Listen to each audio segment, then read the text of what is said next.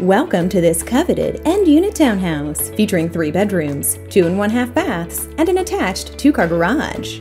Entertain your guests in the formal living room that leads up to the formal dining room and continues to the combination kitchen, breakfast nook, and family room.